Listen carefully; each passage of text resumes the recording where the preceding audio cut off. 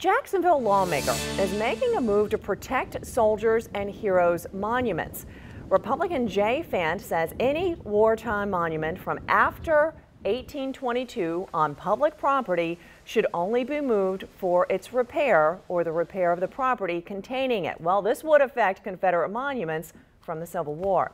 The nation and the First Coast, of course, continues to deal with debates about Confederate monuments.